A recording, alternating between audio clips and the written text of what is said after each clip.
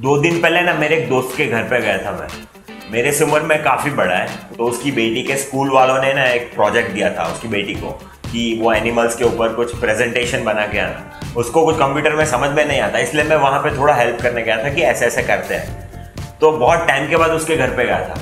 तो सब खत्म हो गया, उसके बाद में उसने मेरे को पूछा कि अभी 25 का होने वाला है मार्च में, शादी कब करेगा? और मेरे घर पे भी मेरी नानी है ना, मुझे बोलती रहती है हर महीने में कि कब शादी करेगा, लड़की देखना चालू करे क्या? अब हम बूढ़े हो गए, तेरे बच्चों को देखना है। मतलब ऐसा इमोशनल ब्लैकमेल सब किया करते हैं। तो हर जगह से ये सब सुन के ना दिमाग पक जाता है। और बाद में कोई टॉपिक भी नहीं अभी मिल रहा था मेरे को कोई वीडियो बनाने के लिए। तो सोचा कि चलना इस टॉपिक के ऊपर ही थोड़ा कुछ बोल दूँ।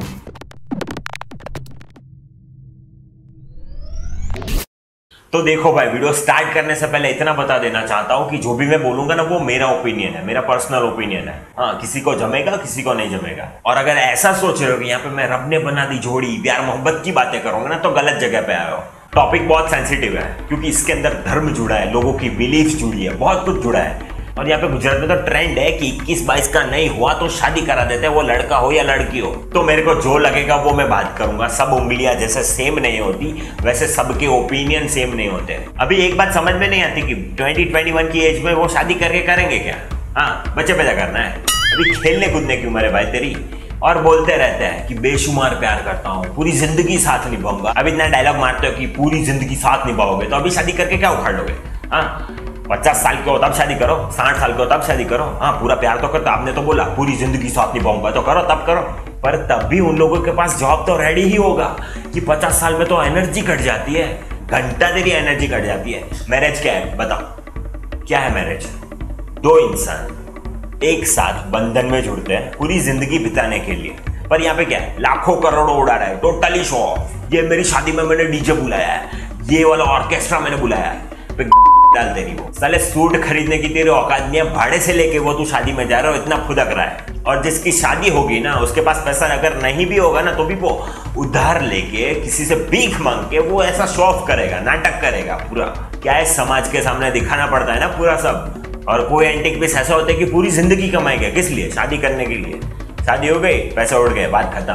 तो उन लोगों से एडवाइस है कि तुमने तो क्यों इतना कूद रहे हो? पहले कमा लो ना, पहले कुछ पैसे बनाओ, बाद में करो ना। पापा के पैसों से बच्चा शादी करेगा। हाँ तो बेटा अब जब टट्टी लगे ना, तब वो इमरजेंसी जाते हैं ना, सरकारी संडास में तो वहाँ पे टट्टी के पाँच रुपए अपने पापा से ले लेना। क्योंकि तेरा पापा स्पॉन्सर है ना तेरी लाइफ का। बाढ़ में मेरे को क्या है? देखो, मेरा मानना यह है कि शादी का खर्चा तो खुद को ही उठाना चाहिए। दम है उतना करो। हाँ दम बहुत बड़ा करने का तो बहुत बड़ा करो। छोटे करने का तो छोटा करो, पर कुछ नहीं, खुद के दम से तो किया। और ये मेरी चॉइस है कि मैं किसके साथ शादी करूँ, कैसे करूँ, और किस तरीके से करूँ। It's none of your business dude तो ये भाई मेरा ओपिनियन है बाद में तुमको करने तो करो ना। मेरे बाप का क्या जाता है। मैंने तो जो मेरा ओपिनियन था वो बताया। तुमको ठीक लगे तो हाँ बोलना। नहीं ठीक लगे तो गाली दे और मेरे को तो अभी मैरिज ही है ना, एक कॉन्ट्रैक्ट लगता है। दो पार्टी इकट्ठा होती है, पैसे लगे रहे होते हैं। ओके दोनों सिग्नेचर करते हैं, साथ में रहते हैं, मस्ती करते हैं, हो गया खत्म। ये शादी है। बीच में रेफरेंसेस भी होते हैं ना कि कुछ वो लोचा वोचा हो गया तो नहीं रेफरेंस चाहिए। सीधी डीलिंग है, ये पूरा कॉन्ट्रैक्ट बेस है। और मानो या ना मानो, पर ज़्यादातर लड़कियाँ ना क्यों शादी करती है, पता है? सोसाइटी के लिए। अभी सोसाइटी ने रूल बना लिया तो उसको फॉलो तो करना ही पड़ेगा। नहीं फॉलो किया तो सब लोग बातें बोलते हैं, पापा को बोलते हैं, मम्मी को बोलते हैं, इसलिए करना ही पड़ता है। हाँ कोई आवाज़ तो नहीं उठाएगा। तो अभी सोसाइटी को फॉलो करो ओके हाँ सोसाइटी जैसा बोले, वैसा सब सेम चीज़ करो। हाँ तुमको तुम्हारी लाइफ स्पॉइल करनी है तो मेरे बाप का क्या रहता है? मेरे को तो जो बोलना था मैंने बोल दिया। जयराम जी की। अगर मैं ये एग्ज़ाम में फेल हुई ना तो मेरे पापा, मम्मी मेरी शादी करा देंगे।